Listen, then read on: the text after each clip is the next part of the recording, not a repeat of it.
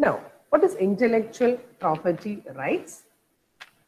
See, intellectual property rights is one thing which the people around me or the student community around me should understand properly. See, the, the young generation of today, more than reading books, they have that ability or their brain has ability to come out with innovative ideas. Around us, we have many students who have come up with beautiful projects which are very useful to the society. So, what is IPR?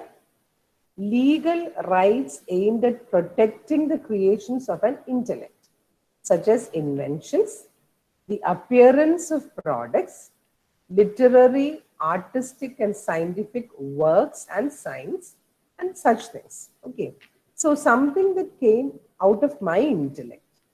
If I know no one else in this, in the world around me has found out the same thing, so my intellectual property can be protected. Okay. And that is called IPR. Okay. Legal protection given to my intellectual property. And that is patents, trademarks, copyrights, trade secrets. Okay. See, what do you call a patent? Now, if uh, one of my student finds out something which no one has yet found out. Okay. So let it be anything. Let it be anything small. Maybe my uh, student has found out a new coconut tree climber. Okay. So whatever my student has found out, this patent gives the owner of the product the right to exclude others from making, using, selling, offering to sell and import an invention for a period of time.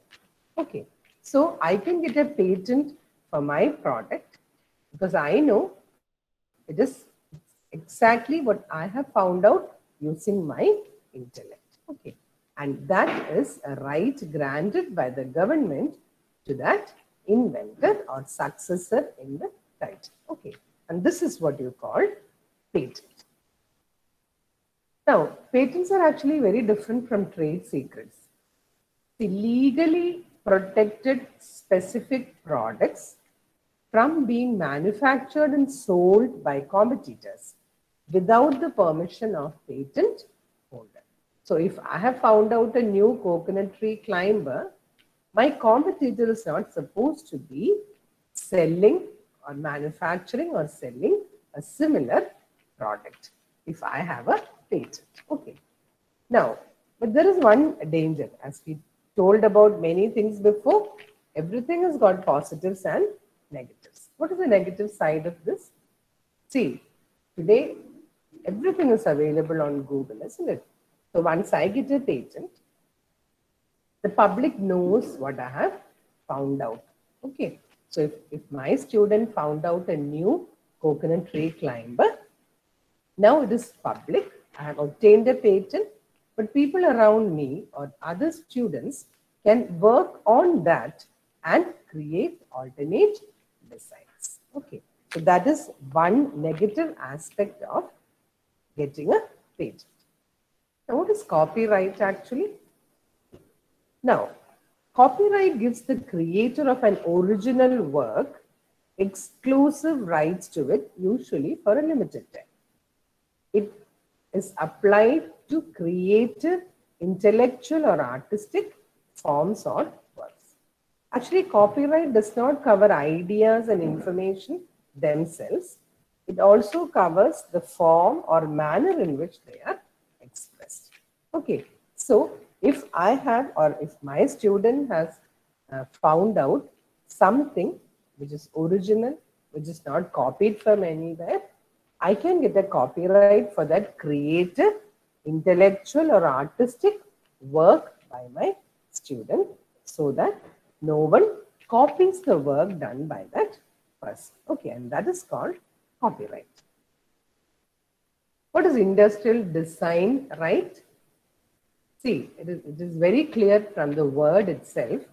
An industrial design right, or it's even called a design patent, it protects the visual design of objects. See, I've already designed an object. Now, I can get an industrial design right so that this design is not copied by anyone else. So an industrial design can consist of a new shape, a new configuration, or composition of pattern or color, or composition of pattern and color in 3D form containing aesthetic value. Okay. An industrial design can be two-dimensional or three-dimensional. It can be used to make a product in the future. It can be an industrial design for any other industrial commodity or a handicraft.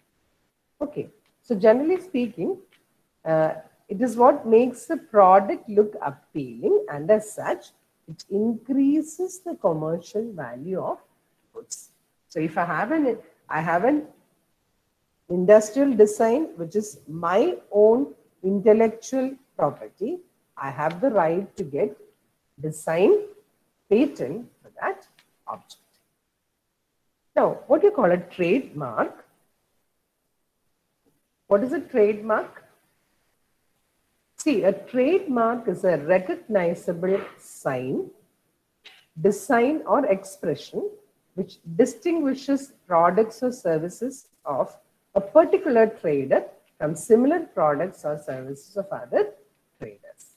See, we are all aware of objects. See, if you look at advertisements that we see in TV, in media, every product has its own trademark, isn't it? It will be a recognizable sign, design or expression, which, see, uh, when it is very easy to recognize a BMW or a Benz, isn't it? Because BMW has its own trademark, Benz has its own trademark. So every product has a trademark. And that is what, when you see the trademark, you can understand, yes, this is a Benz. Yes, this is a BMW. Such things are very easy to, it, it is only for one particular product. And that is called a trademark. What is a trade secret? Similar to a trademark, see, uh, we all know uh, Coca-Cola has its own formula of preparing soft drinks. And it is a big trade secret. This trade secret, it's a formula. It can be a practice. It can be a process. It can be a design for an instrument or a pattern or compiling information. So, if Coca-Cola has a trade secret, how to make its soft drinks, it is going to remain a secret. There is actually no formal government protection granted, but each business takes measures to guard its own trade secrets. See, we have heard about ice cream companies. Uh, you know uh, of Uncle John ice creams. Actually, uh, Uncle John ice creams owner, he was working in a very big old ice cream company of India. While he was working there, he decided to use that secrets that he learned from there and he started this Uncle John ice cream.